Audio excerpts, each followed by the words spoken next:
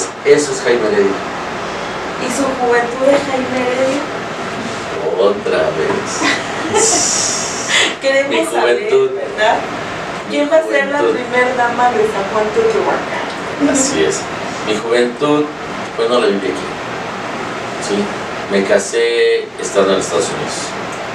Allá me casé, posteriormente enviudé y viví 18 años en la comunidad central de Patlán, donde orgullosamente lo digo, es mi esposa, ¿sí? la señora Guadalupe Olvera, paz descanse. Y tengo una hija con ella que se llama Vanessa Heredia Ortega y dos nietos. ¿sí? ya no es juventud, pues parte personal. ¿sí? Y ahorita tengo mis dos pequeños con el segundo matrimonio. No estoy casado, pero este, ahí está esta Arancita de 6 años y Jaime de 4 años. Sus bebés. Mis bebés, ¿quién será la titular del DIF? La titular del DIF será la licenciada Claudia Ariana Serralde Moreno, de este, gente que participó conmigo en la campaña desde un inicio. Ella no es originaria de Teotihuacán, ¿sí? pero es gente que recorrió y conoce las necesidades de la población. Aquí está, es una licenciada que tiene experiencia. Muy bien, licenciado Jaime. Bueno, pues vamos a preguntarle además, ¿qué define a Jaime Heredia el ser humano? ¿Y qué define a Jaime Heredia el político? Está bien marcado. El Jaime Heredia ser humano, me puedo quitar la camisa cualquier persona. Sí, podré quedarme sin comer, porque yo sé que más se tendré para comer, pero ellos no. Sí, y serán la única, el único bocado que habrían en el día. Yo, yo más adelante podré llegar a casa y poder comer. Llego a casa y tengo algo que comer. Llego y se me quita la camisa, tengo otra me comer. Ese es el ser humano. Políticamente, ¿quién es Jaime Heredia? Jaime Heredia inicia en el Partido de la Revolución Democrática en el año cuando inicia Cuauhtémoc Cárdenas. De ahí me integro a, las redes de juventudes, perdón.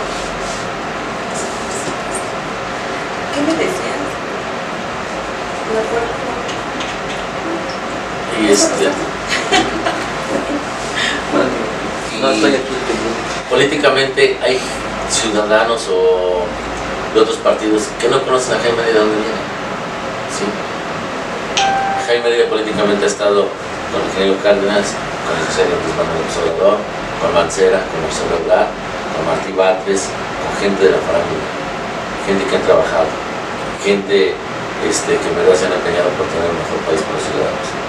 Jaime ha participado en esos movimientos sociales. Ha empujado la lucha social. He empujado, siempre he sido de izquierda y mantengo.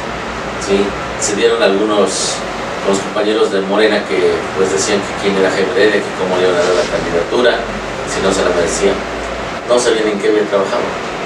¿sí? Cuando a mí con la licenciada de la mesa delfina me tocó trabajar la zona de Naucalpan, Tlalnepantla, nos dieron por zonas, están en el Distrito Federal. Pero la gente luego no ve eso.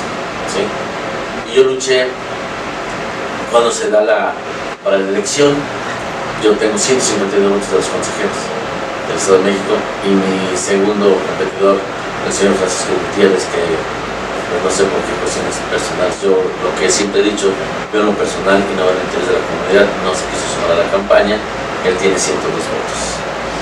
Y de ahí, sí, ya nadie bajaba, ya era difícil. Ya todo el mundo decía, no, que sí, que estamos acuerdos. Aquí no hay acuerdos, aquí trabajo. ¿sí? Y el trabajo se demuestra allá afuera, no en una oficina. Esa es la diferencia. Ese- Ese es Jaime Heredia políticamente. Políticamente no me voy a dejar. ¿sí? Defenderé los derechos de los ciudadanos como mis derechos personales. ¿sí? No soy de las personas que me dedico a hacer politiquería de bajo nivel.